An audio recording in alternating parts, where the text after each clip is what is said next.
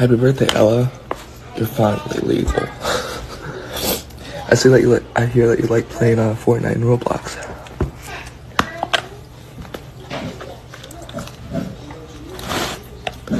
Just go party hard tonight. Don't do anything dumb, okay?